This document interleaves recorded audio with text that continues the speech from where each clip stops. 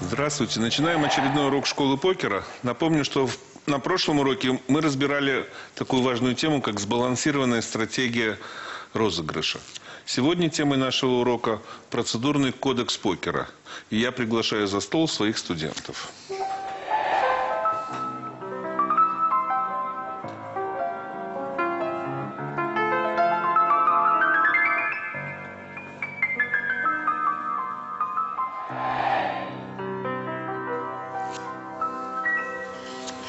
Здравствуйте, мои дорогие.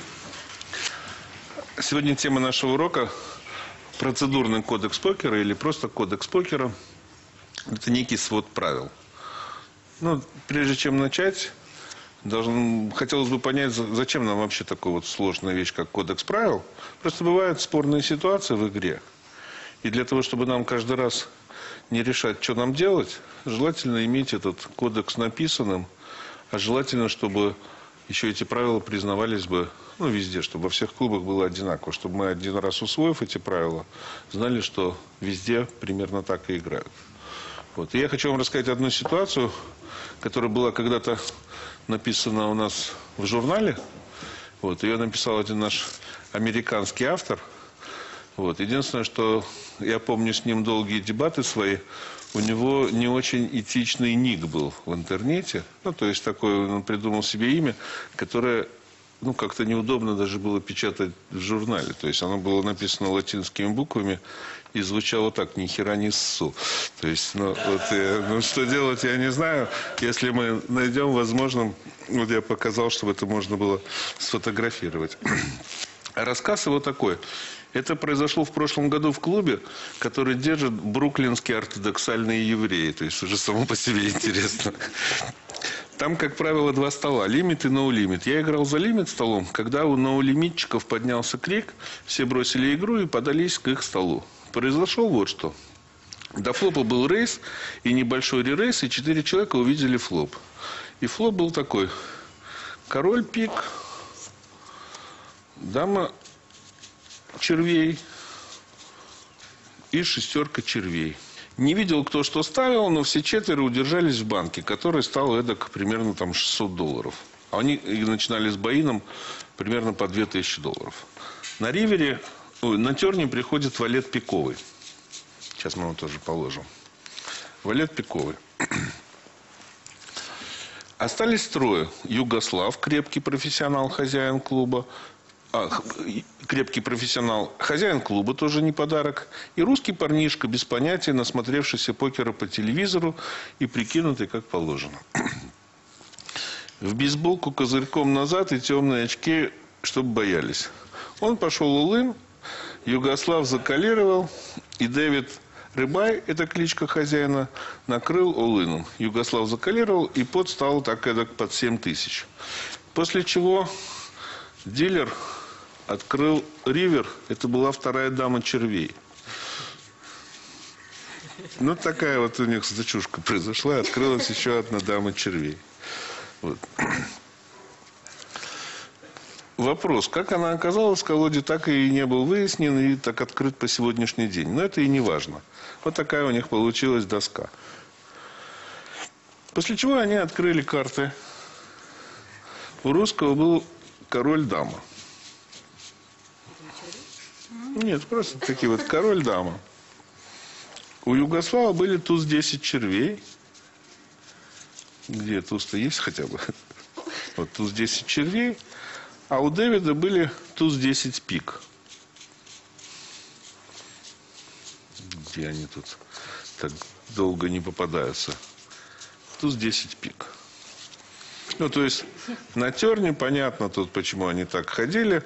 У каждого из них было по стриту, притом пиковый мог еще собраться флеш, и червовый мог собраться флеш, а пиковый мог даже и рояль собраться. Давайте я так прикрою, мог, чтобы вам было видно. Вот. Но открылось то, что открылось. Дама червей. За столом начался настоящий спектакль. В общем, получилось так. Примерно после 20 минут разборок выяснилось, что как надо делать по правилам, никто не знает. За это время были помянуты нехорошими словами все заинтересованные и незаинтересованные лица и их ближайшие родственники. В результате оказалось три варианта. под аннулировать и деньги раздать на троих, кто сколько вложил денег, м, а деньги четвертого поделить. Ну, на тот момент четвертый уже спасовал, поэтому эта карта его как бы не касалась. Второй вариант. То же самое, только деньги четвертого вернуть четвертому. Третий вариант. Арестовать деньги и обратиться за решением к менеджменту казино в Атлантик-Сити. В конце концов, хозяин и Югослав согласились на любой вариант из трех, и дело стало за русским. Все это время он с видимым усилием пытался что-то сообразить и ни на что не соглашался. Наконец, его лицо вдруг озарилось пониманием, и он предложил четвертый вариант – я когда услышал, что он предлагает, то просто ошалел. Когда Дэвид и Югослав поняли, что он не шутит, у них челюсти отпали, и они, конечно, немедленно согласились. Предложение русского было перетасовать колоду и открыть другой ривер. Что и было сделано. Открылась малая трефа, и Югослав с хозяином разделили пот. Наверное, это было наивысшее проявление тупости, которое я когда-либо встречал. Да, это некорректно к игроку с король дамы, потому что... Почему... Так это он и предложил, это было у Да. русского. Ну зачем... То есть, Зачем он предложил это как раз... Вот это- аннулировать лучшее решение для него, потому что две дамы могли, могли и на флопе раздать, и на терне, а так совпало просто на ривере. Это неверно, что уже играли раздачу с двумя дамами. Конечно. Так вот, как вы думаете, какое решение верное? Ну, то есть, какое лучше для король дамы, понятно. То есть, у короля дамы почти нет шансов. То есть, у них там четыре аута. Два короля, две дамы, чтобы выиграть фулхаузом. Притом еще, смотрите, дамы пик он еще и не выиграет, потому что будет тут флеш-рояль. То есть, уже только три аута. Вопрос, а какое решение правильно? Какое выгодно, понятно, что выгодно ему Я разделить. думаю, аннули- аннулировать и раздать все деньги каждому игроку, как они перед раздачей играли. Потому что эта раздача вообще недействительна. Так просто попало, что там даму открыли. А если бы кому-то раздали сразу две дамы, тоже недействительная раздача. Да, ну на этот случай есть как бы у нас свод правил, правила спортивного покера, утвержденные Роспортом и нашей федерацией. Вот, надо сказать, что у них достаточно долгая история. Когда-то еще в 2002 году мы собирали первую конференцию индустрии покера в России, в которой ставила цель ну, каким-то образом сделать единые правила в разных клубах. Во-первых, чтобы действовали одинаковые правила в разных клубах разных городов. А кроме того, чтобы иностранцы, которые к нам приезжали, не считали нашу страну каким-то медвежьим углом, что неизвестно там валет старше дамы. Или там есть, есть же мелкие нюансы, которые важны. Поэтому собрали редакционную коллегию, поручили вот. Ну, вся эта редакционная коллегия трудилась в одном лице. Она как раз это лицо перед вами. То есть я делал этот кодекс. И потом долго еще хотел, чтобы его кто-то согласовывал, но никто не согласовывал. И в конце концов я сказал, что или давайте придерживаться вот одного какого-то написанного текста, или если кто не согласен, вносите изменения. И только лишь после создания Федерации спортивного покера мы действительно поработали над этим документом. Здесь, собственно, все это написано. Поэтому, ну, не знаю, хотите, пробежимся по каким-то главным видам. То есть, если сдача была произведена дефектной колодой, и это выяснилось в процессе игры, то эта сдача признается недействительной. То есть колода, очевидно, дефектная, две дамы червей. Поэтому четвертому игроку тоже возвращаются деньги, независимо от того, что он вышел раньше, когда еще было неизвестно, что эта колода дефектная. Кроме того, если бы в этой сдаче были бы какие-то блайнды, то и этим людям были бы возвращены блайнды. Например, он поставил маленький блайнд и выкинул. Ему бы этот его пятачок тоже был бы возвращен.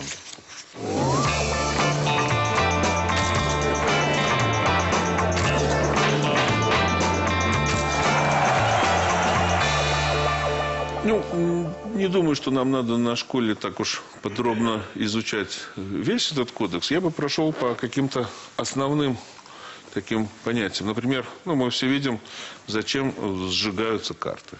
По кодексу положено, чтобы дилер после раздачи каждой улицы сжигал одну карту. Это делается для безопасности игроков, для того, чтобы вдруг, если какая-то заметочка на карте, чтобы никто не мог этим воспользоваться, пока она лежит сверху. Точно, тоже, точно так же для безопасности предусмотрено вот это каттинг карт, подрезная карта, которая, чтобы никто не знал, что здесь лежит туз бубновый, никогда не придет.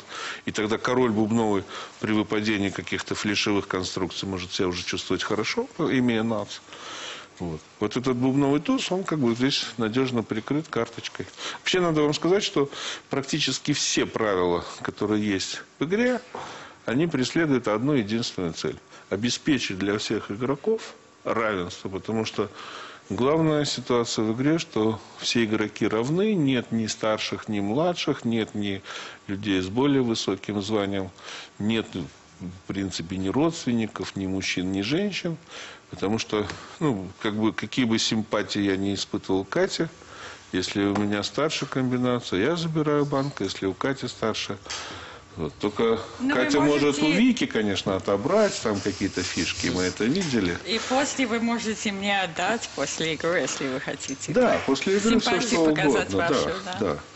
Теперь, смотрите, например, есть порядок вскрытия. Обычно люди там на ривере какие-то ставки, там бет, рейс, ререйс, там все поставили. Открывайте карты. Почему я, то пусть она покажет. Есть правило, что если была какая-то торговля на этой улице, то первым открывает игрок, который сделал наивысшую ставку первым. То есть вот пош- пошла Катя Ол- Олын. Мы уравняли, значит, Катя должна открывать первой. Если я поставил тоже Олын, но больше, чем Катя, например, и Вике пришлось уравнивать, то тогда должен первый открыть я. Теперь, если вы видите, что ваша рука не бьет, например, ту руку, которую открыли, вы можете свои карты не показывать, просто их бросить. Вот. Иногда начинают настаивать. А что у тебя-то было, покажи. Я не должен показывать, достаточно того, что я проиграл. Кстати, например, в Англии несколько другие правила. Э, Могут попросить показать и руку, которая сбрасывает. Да и в интернете тоже об- обязан показать свою карту оппонента. Если он даже проиграл или выиграл, нет разницы, его карту можно узнать.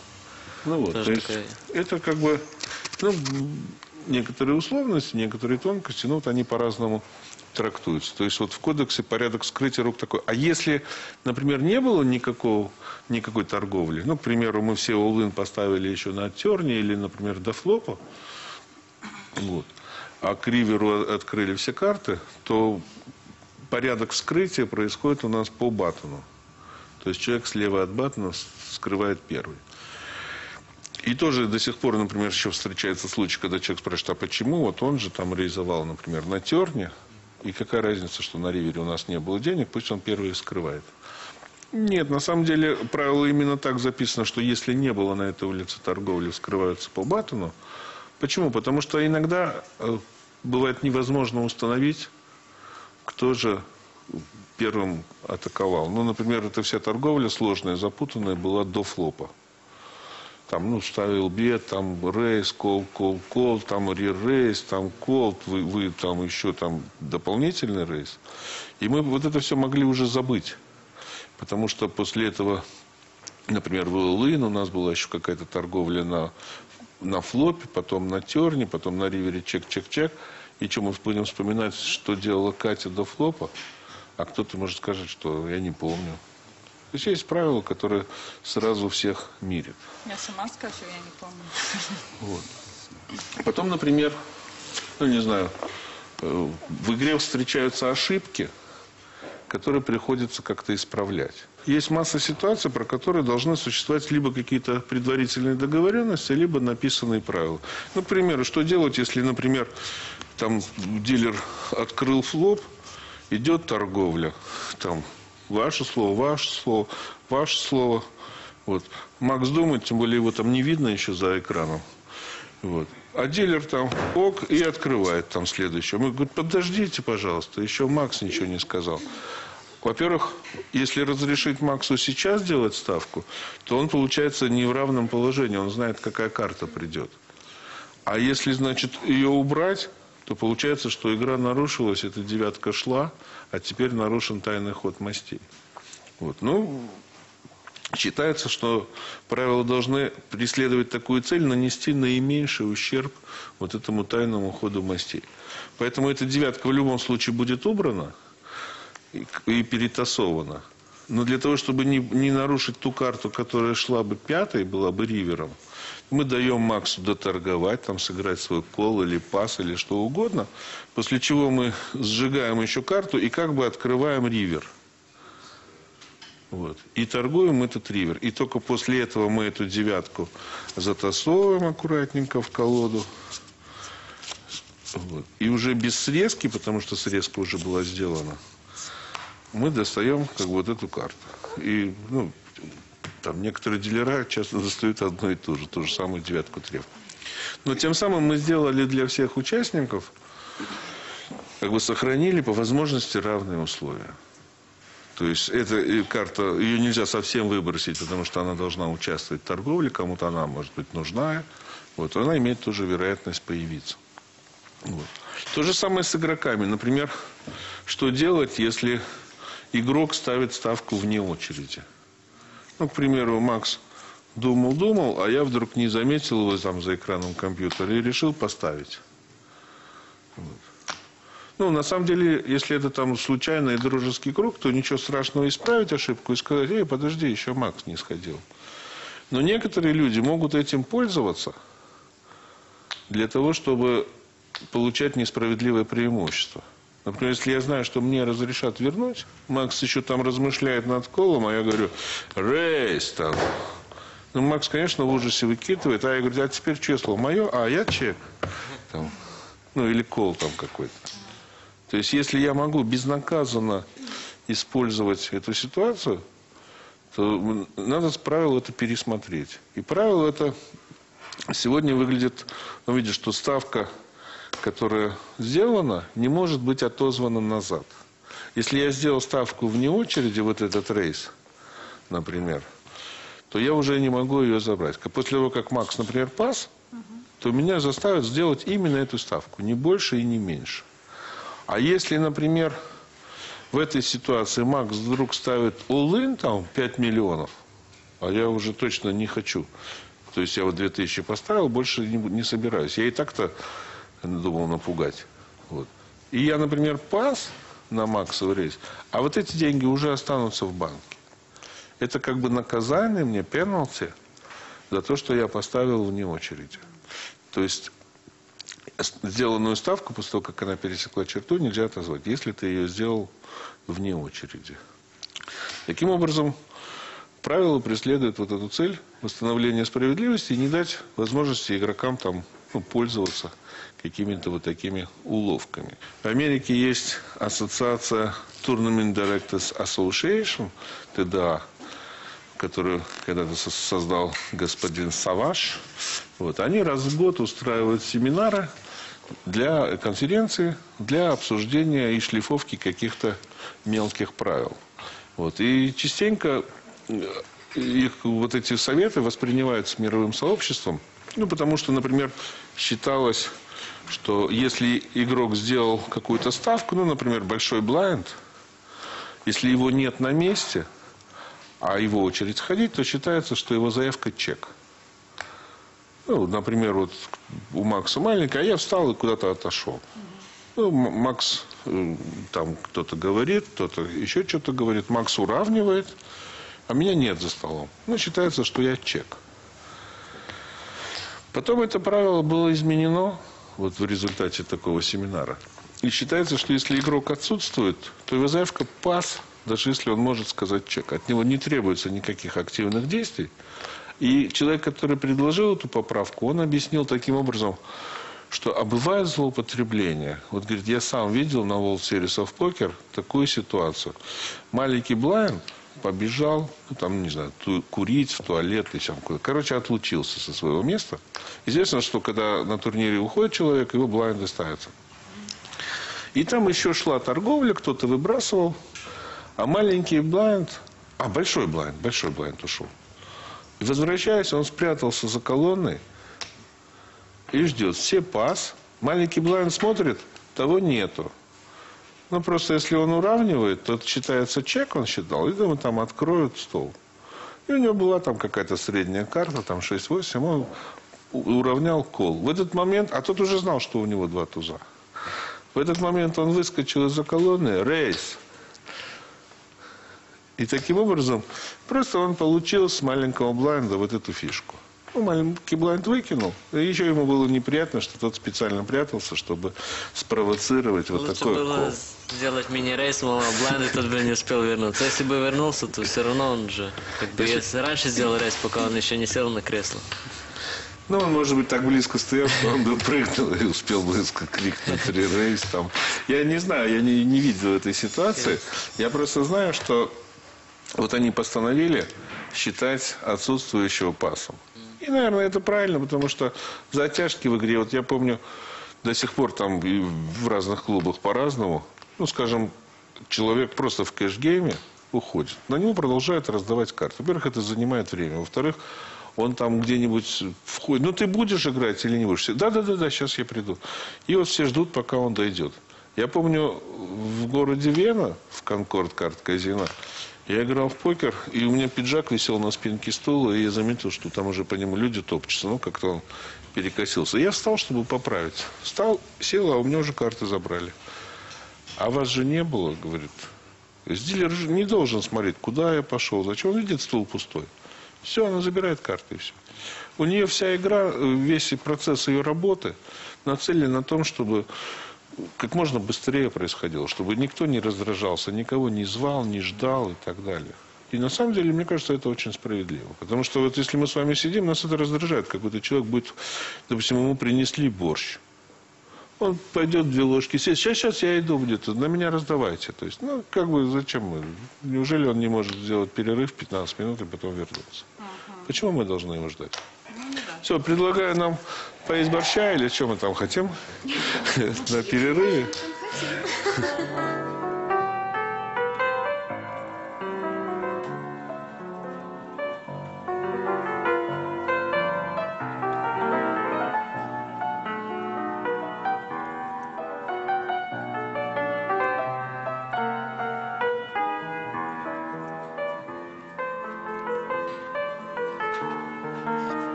Египет. Шарм-эль-Шейх. С 13 по 20 сентября. Red Sea Cup 2009. Poker Club Management и телеканал Про Покер представляют выездной покерный турнир Red Sea Cup 2009. Условия участия на сайте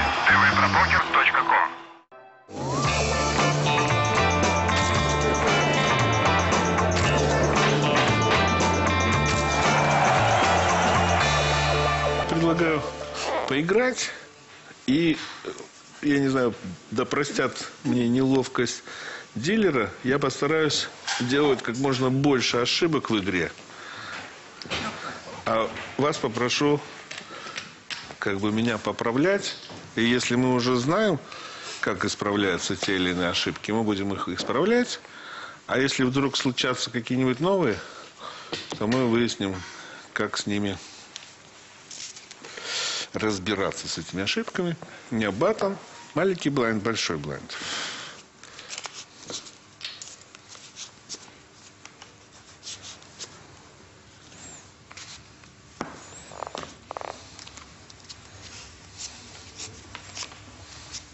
Oh my God. Случайно Bad, перевернулась карта. bad, Ну, bad. А если у меня был бы straight, каре или флаг? стрелять.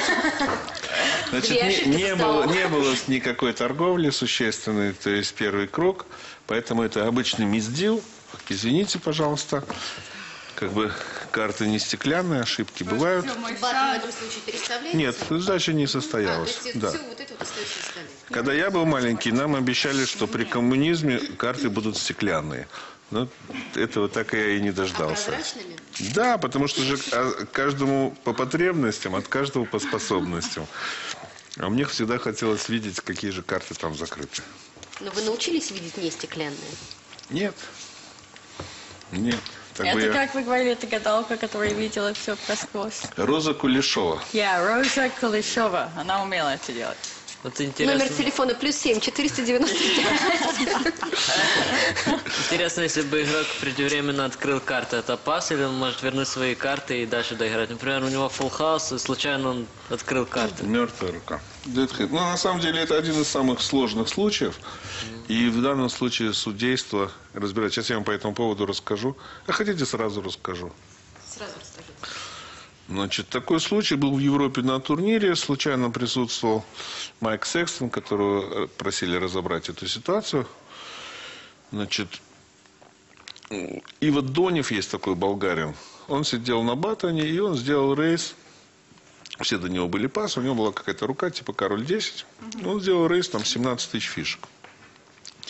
А человек сидел, маленький блайнд пас, а на большом блайнде сидел человек, у которого было две дамы.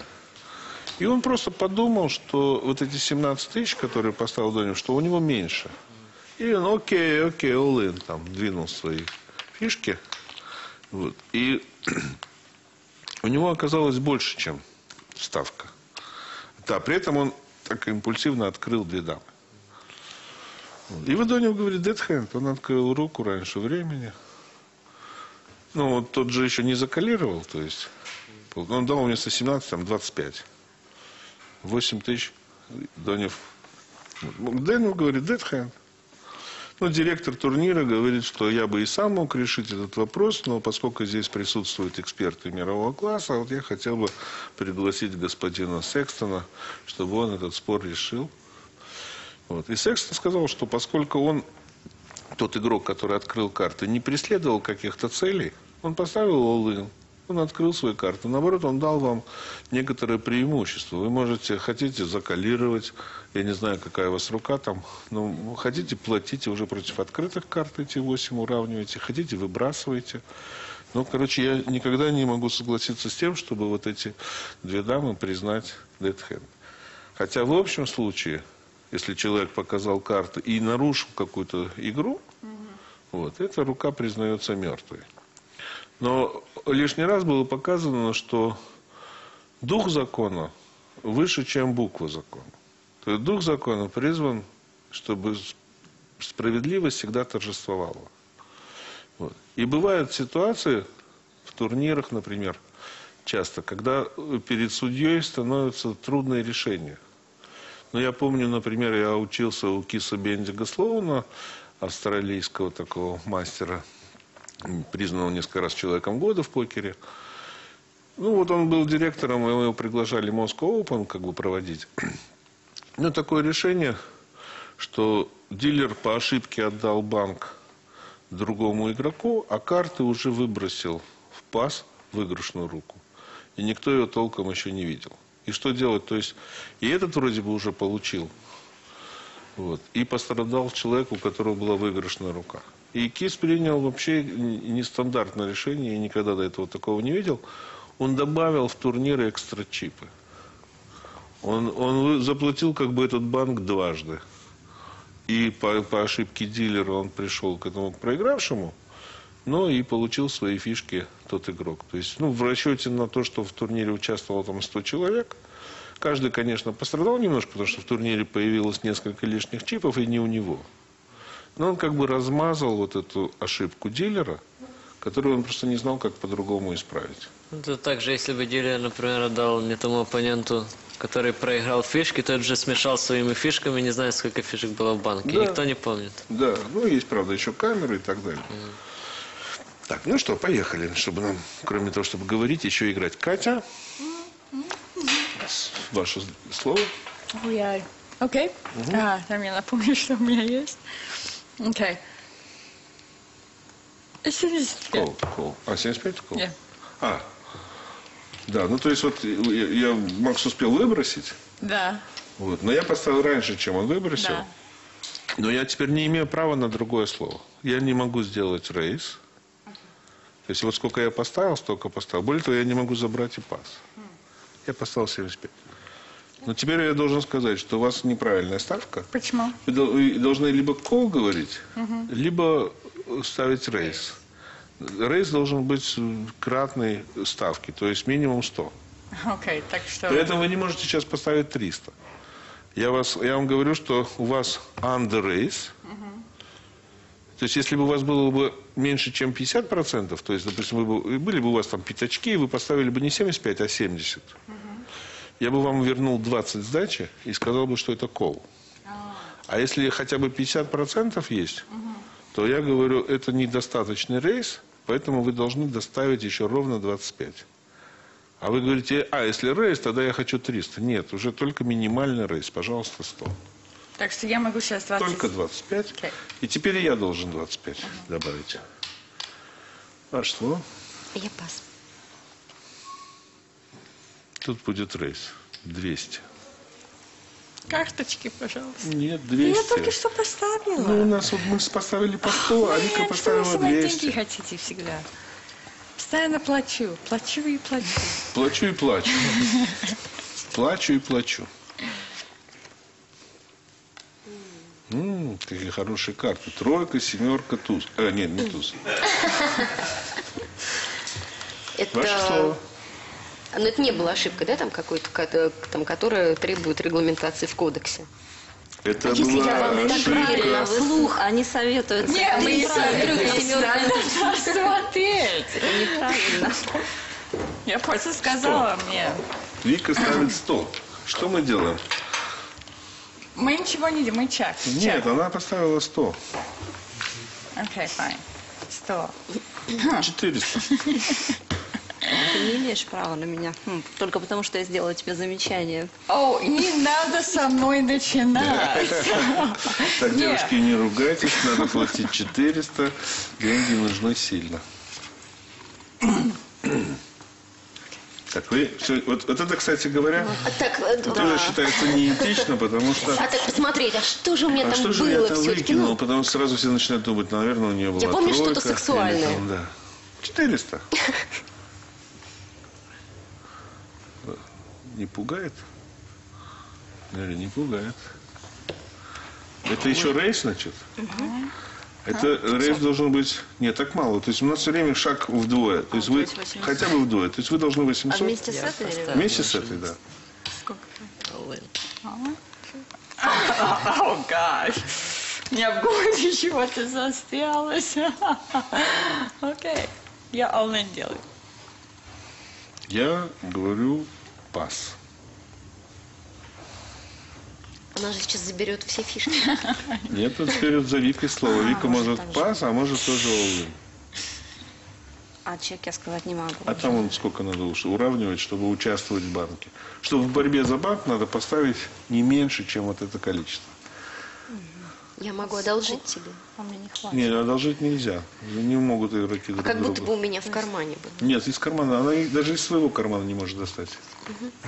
А, ты in пошла? Там что-то хорошее. Ну, открывайте, что. Мне просто кажется, что там. Шоу-даун. Ого. Ого. Ого. Ну, так тут, тут сильно лучше. У меня и то было 6-4. Без пики. Все. Все. Финита ля комедия. О, Ну, Говорили тебе не начинай. чебурек тоже будешь продавать. Так, хорошо на личности не переходить. Мама была толстая, будем продавать чебуреки. Это... Подождите, я сравниваю. Смотрите, у вас ровно одинаковое количество фишек. А, А, ну в этом нет ничего удивительного, столько раздали. И мне, пожалуйста, И мне, эти пожалуйста, тоже, да. эти. И там еще мои 400 как-то заблудились. И мои 25. Ваши 25, да? Так, ну нам потребуется... А, ну мы можем Вику кредитануть. Потом будет чебуреками отдавать.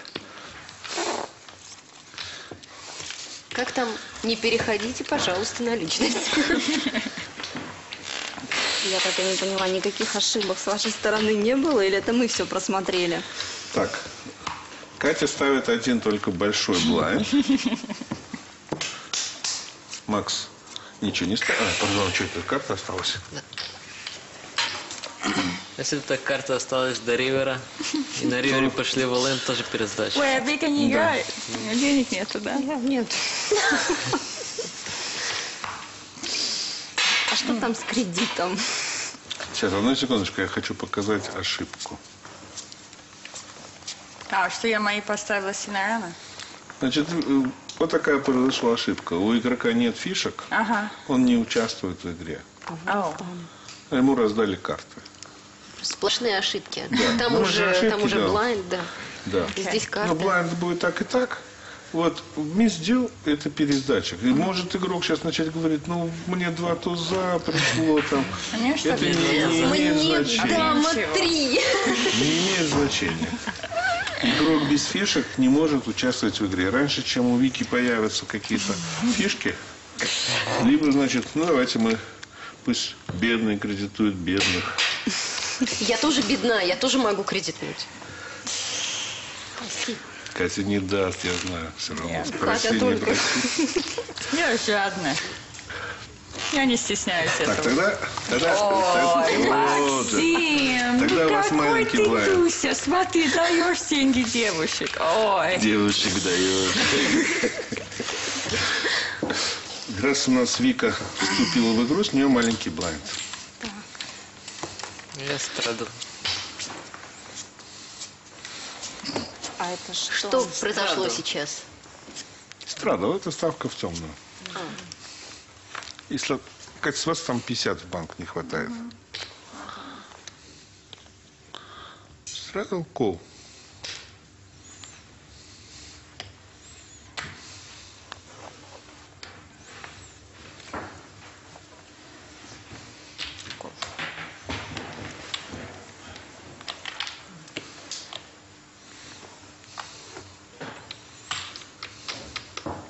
Вика, сколько ты? Всего 100. Сто, окей. Чек. 50 можно забрать.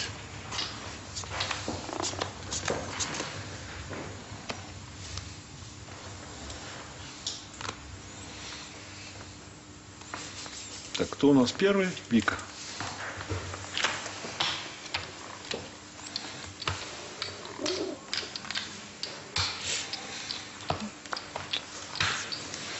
Чек, можно сказать. Чек. Я пас. Чек. Чек, чек, я чек. Чек. 300. Кол.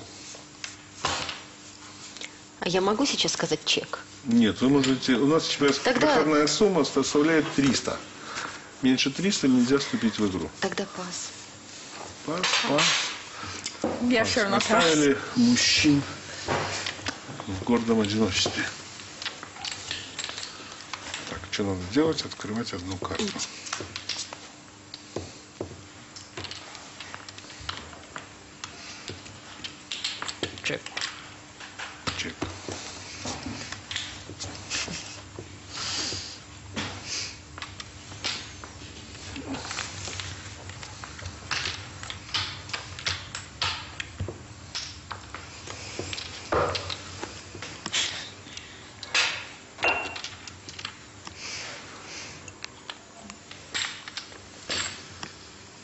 Олен кол. Ух ты! Ау! Себе. Ну, да, то есть я просто... Вера, наиболее вероятная карта шестерка, поэтому я жду от Макса атаки на шестерке. Был еще вариант, что на пику очень хотел, чтобы еще и пика открылась.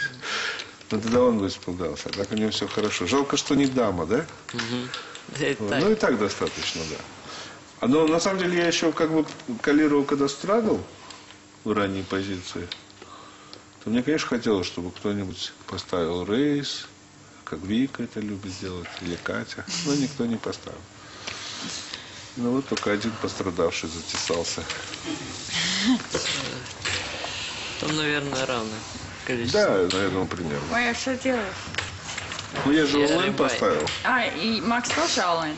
Ну а как он может открыть, если он онлайн? Он же сказал, кол. Ой, Кол это значит уравнял. Но не Я подвинул А сколько ты мне фишек дал? А достаточно слов. Кстати говоря, 600. Вот столько.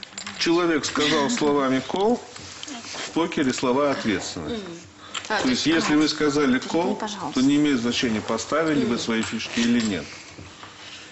Ну и точно так же, если вы сказали пас, вот, То то не, не обязательно. ну, вы можете там сюда там сказать пас. Человек там показывает или какие-то действия, а вы еще ничего не подождите. Я подумал, может быть, пас там.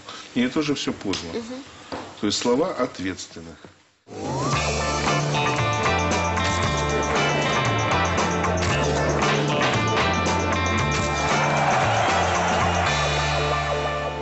Какие у нас еще могут быть ошибки? Да, может быть такая ошибка, как неправильное количество карт. То есть, если ее можно исправить, вот у нас несколько раз так было, э, последнему забываю раздавать. Вот, допустим, у нас сейчас батон у Вики. Я раздаю у вас маленький, у Макса большой. Раздал. И там, пожалуйста. А Вика говорит, а мне карточку. Ничего не испортится, если я просто как бы добавлю карту. Но если я пропустил, например, Макса, и его карта пошла сюда, моя туда, то уже, очевидно, произошла ошибка, и мы пересдаем карты. Вот. Еще интересный случай, если я нечаянно раздал игроку, там, например, три карты. И он, и, он, и он не сказал. То есть есть правило, которое гласит, каждый игрок сам отвечает за количество карт у себя на руках. Вот когда ему раздали, он посмотрел, например, и начал какую-то игру. Вот если потом выяснится, что у него было три карты, или одна, неважно, то он уже ответственный, это неправильная рука, мертвая, она выбрасывается. Вот, и деньги эти не возвращаются. Если он сразу говорит, ой, у меня три карты раздали, до каких-либо действий. Потому что, опять же, конечно, мне на трех картах выгоднее сыграть. Если я буду проигрывать, я скажу, ой, у меня три карты, пересдайте. А если я буду выигрывать, ну и что, это ошибка дилера. Нет, не может быть у игрока, не может быть выбора, он получается не в равном положении с другими игроками. Поэтому, если ты увидел, ты должен сразу сказать. Если ты сразу не сказал, это мертвая рука. Я думаю, Макс больше со мной не хочет сидеть. Я поставлю 250. Я все С моей карты не выиграть. Каждый раз его карту. 250. Там 25, 50, 250. Я пос- А что если вот игрок вот так вот, ну, заглядывает в карты, то есть. Помарнал, помарнал. Не, ну, как-то это... Усам просто. Не стесняясь. Этично, Вика, этично. Дело в том, что каждый игрок сам ответственный за сохранность своей руки. Потому что кто бы ни сидел, я могу быть сидеть облепленный зрителями, я все равно посмотрю свои карты так, что их никто, кроме меня, не увидит. То есть это вот все-таки на совести каждого. Да, вы смо- дело в том, что вы не представляете, вот представьте, в зале играет там 5000 человек, 500 столов. Можете представить, это стадион, футбольное поле, люди ходят, там к ним какие-то болельщики, там что-то какое-то движение, там дилера носят фишки, какие-то рыбаи, там теле- эти, ну не знаю, корреспонденты, телевизионщики, кто-то у кого-то интервью, кого-то куда-то ведет, якобы интервью там на самом деле. Вот, то есть, ну, ни- никто тебе не говорит, а что это они тут все ходят, заглядывают ко мне в карты. Смотри так, чтобы никто не видел. 250. Пас. No respect. Катя не верит, что у меня может быть хорошая карта. Никак- ну, мне никогда не приходит хорошая. Это кол, правильно понимаю, да? То есть молча сказал кол. Ага. То А, есть вот он молча кинул более крупную фишку, он же 500. А, так что мне Нет, тоже? нет, мы не 500, Окей. он молча кинул, поэтому кол. И это правило. Он не может выбрать. Если, да.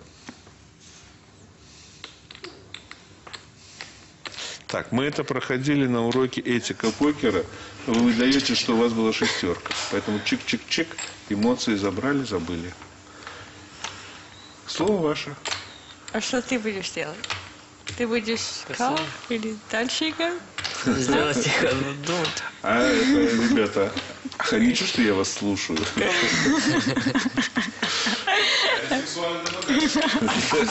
Засудите меня. 500. Ничего себе. Три тысячи.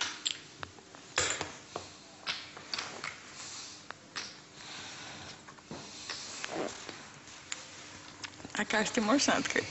Мои? Нет, да. Нет, сначала надо три тысячи, потом карты открыть. А чек?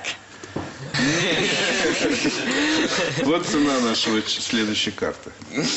Мы объявили цену следующей карты. Вы говорите, следующую будем смотреть за 500. Я говорю, нет, за 500 маловато. All right, fine, pass.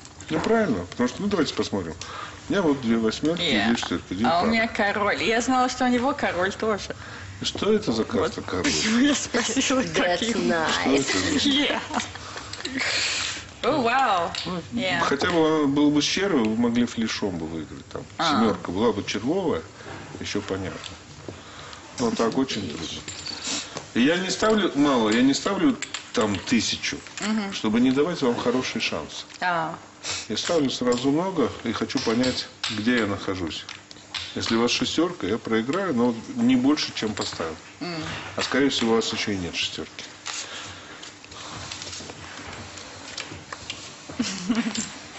Увидели мои карты и на король 7 прихлоп все равно вышли против короля. Аут ловить. Ой, я видела короля, я не видела второй, но я поняла, на особо короли. Так, Так это же буду- плохо. Это же уже вы знаете из семикарточного, что это мертвые карты. Уже король вряд ли придет. Да, но я на семерку надеялась. А семерка не Семерка это же мало, семерка. У меня две восьмерки. А, ну да. Кто же знал, Дмитрий Ну, я же Станиславович? Кто уже. же знал? Ну, Я же рейс. Я же сделал рейс, у меня какие-то карты, наверное, старше восьмерок. Не всегда же у меня тройки. Иногда тузы вам приходят. Мне, кстати, тоже на деньги никогда такая карта не приходит, как сейчас все время. Тут два туза, тут две восьмерки. Так, смотрим. Опять хорошая.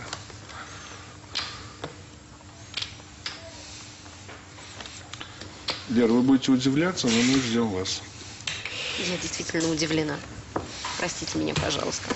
Дабы, дабы быть этичной. Так, правильно я поступила? Да, вы уравняли. Ну, правильно или нет, мы пока не знаем, поскольку не видели ваших карт. Call. Чек. Там кол, если фишка 100, это не рейз, это Это кол. кол. Ну, раз молча.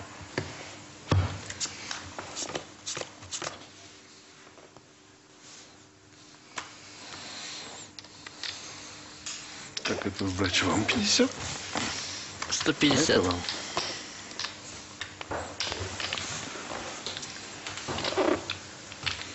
Ставка 150.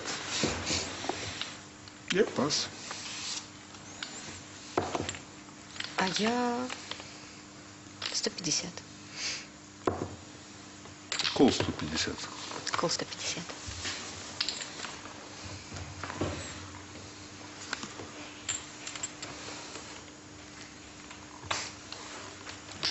Кол 150. Не, не, не, рейс. Не, это 200, это тоже молча, это 150. То есть, если, было бы, если было бы 300, то это было бы достаточно. Если бы вы даже кинули 200 Тогда- разными фишечками просто- по доллару, Это не- да, вам поменять, чтобы сдачу не давать. 150, All right, 150. да.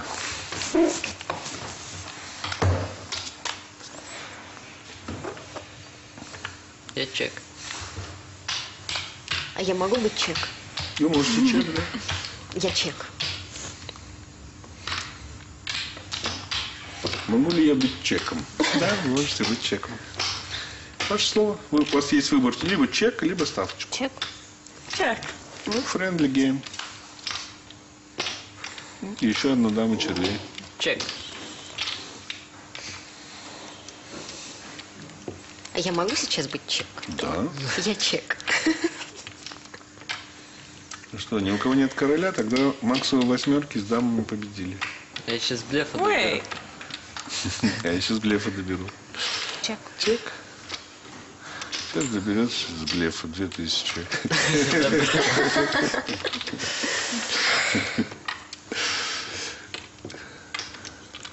Я пас. Пас. Я давно уже пас. Я не знаю, что мне делать. но Я на всякий случай 2000. Мне хочется дойти до конца. All right. That's cool. Ну, вам надо шею All in, ставить. all in. Давай, all in. Не, вот этот кол О, страшнее. Там-то что-то есть. Не, Баулен Просто сделала, туз. come on. Ну что, открывайте. Там ничего. Две семерочки, две шестерочки. Макс выкинул победную руку. Вы, вы смотрите, у Вики был туз, она выбросила. А Макс выкинул хорошую пару восьмерок. Он бы выиграл бы. Да. Да. Я боялся, если бы мне... А нет, там вполне возможно дама играла чек. Кого ты испугался, скажи? Но тут еще сзади есть Да, люди. я- Если бы была одна Катя, он бы, для него это решение монеткой. То есть я блефует, сзади. не блефует. Но теперь у него надо две монетки, и чтобы обе орлом. А это уже только 25%. Деньги сюда, пожалуйста. Деньги, пожалуйста, сюда. И, как вы любите, по привычке вам еще все остальные деньги. Потому что у нас занятие закончилось. Почему? А нам они уже сегодня не понадобятся. Осталось сказать, что следующее наше занятие... Подождите, не уходите, сейчас я вам буду давать домашние задания. Следующее занятие у нас крайне интересное. Это покер в сети интернет. Fine. Fine. До That's встречи. nice.